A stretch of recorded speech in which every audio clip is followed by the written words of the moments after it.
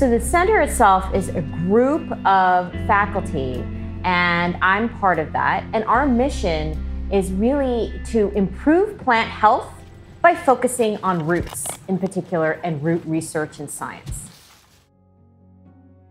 Currently, we have over 850 million people around the world who are suffering from food insecurity. And as we gain another additional 2.3 billion people moving over the next 30 years, most of this growth is going to occur in regions that are already food insecure. And we're going to have to increase our food production by an estimated 50% to meet this increased demand from a growing population.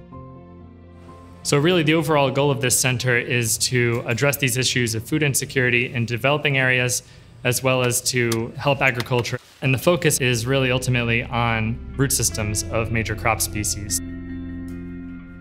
Roots are really hard to study. They're hidden, they're underground, and it's really hard to actually measure what matters to plants. But they're really important because they're actually grabbing the resources, the water, the nutrients that are really essential for plant growth.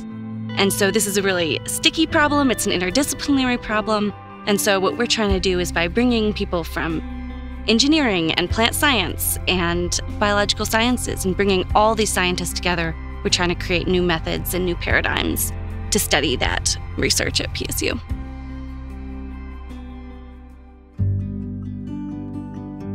So in my work, I explore the natural diversity of maize landraces. These are corn varieties which are still grown and um, curated by indigenous communities around the world.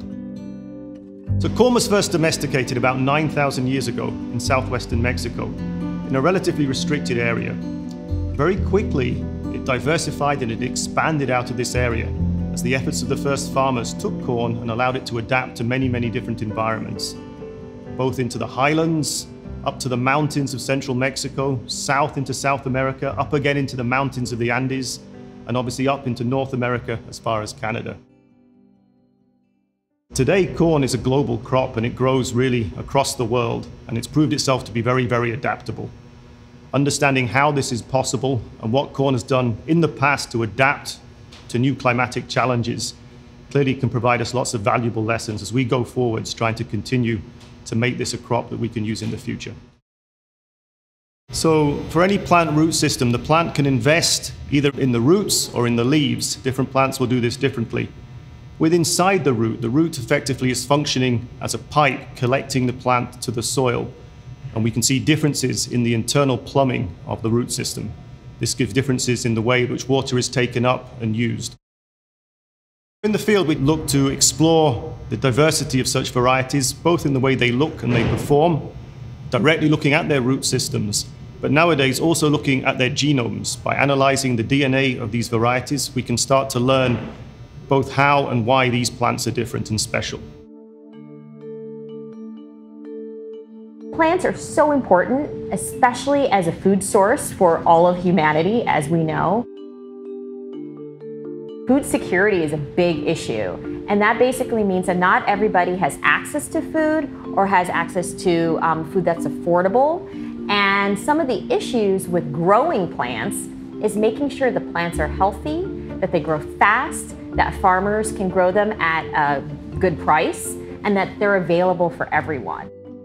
So I work really on trying to understand what little microbes, what bacteria, what fungi in particular, what viruses infect plants, make them sick, and kill them.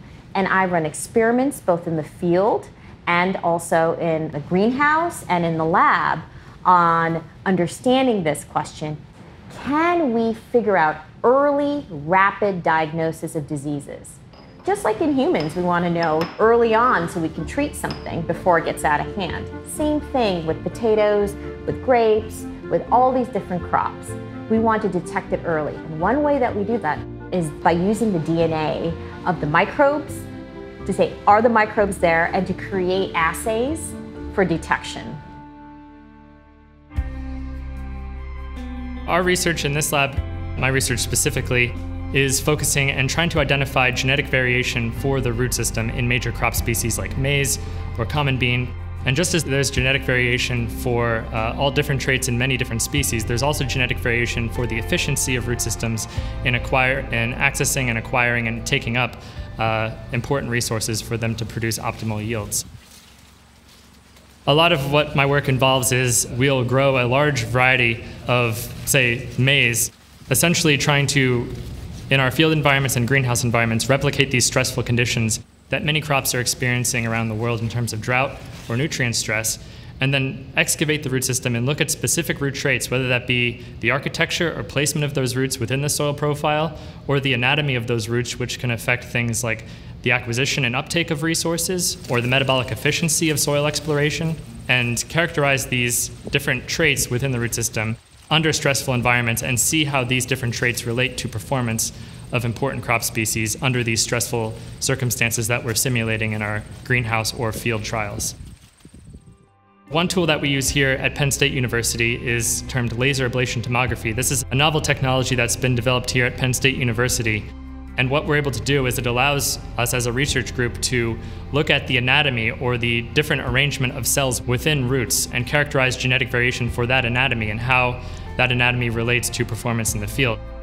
And we can do this in a very high throughput way, which allows us to screen hundreds and hundreds and hundreds of samples a day, which really then was previously a bottleneck to people within the breeding community in identifying genetic variation for anatomical traits.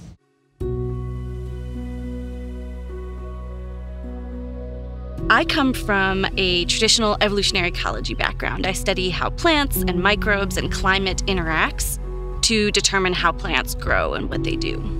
And one of the reasons I came to PSU and into the plant science department is because I want to apply that fundamental research processes and questions to solving agricultural problems. And so, in particular, I study legume rhizobia interactions. And so, these alfalfa behind me are an example of these legumes and rhizobia. And they're really special because it's a plant microbe interaction that actually fertilizes the plant. In this particular trial, these plants have been growing here for five full years. They have been putting out roots, they've been forming nodules, and they've been enriching the soil for the rhizobia that actually fix nitrogen for them. And this happens over and over and over.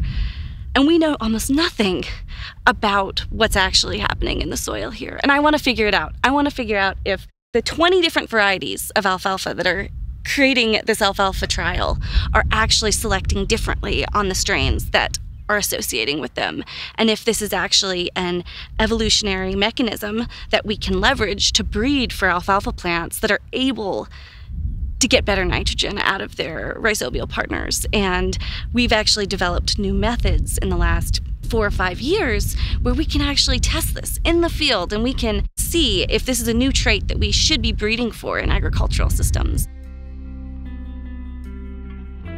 I'd really love if we can take these evolutionary principles that we've been studying for decades and apply them to solve our fundamental agricultural and plant health production problems of the future in ways that create sustainable agroecosystems that require less inputs and less resources to solve some of our problems.